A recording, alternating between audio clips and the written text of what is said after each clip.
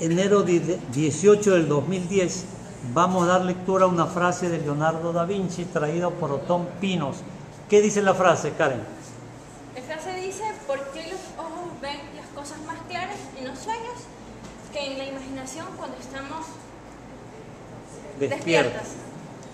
La ecuación es, ¿por qué vemos las cosas con mayor claridad en los sueños que cuando estamos despiertos con la ayuda de la imaginación?